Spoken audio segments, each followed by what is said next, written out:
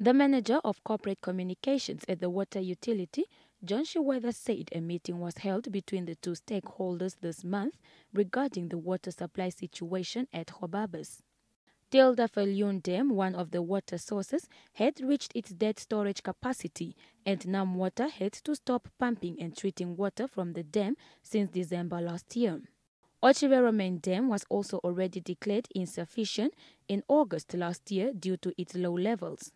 As a result, she Shigwedha said, NamWater was forced to revert to the emergency standby groundwater sources in case the supply from surface water sources is depleted. He explained that to kickstart the water supply from these groundwater sources, potential challenges and risks that are beyond NamWater's control, such as water pipe breaks and power failures, must be monitored and managed.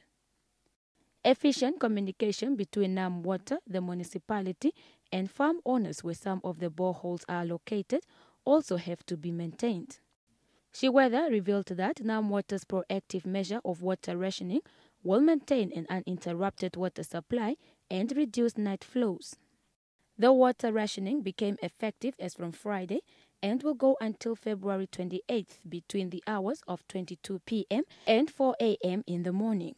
The rationing will allow the restoration of existing boreholes in order to meet water supply demand in Gobabis. Chulana Fuka, NBC News, Windhoek.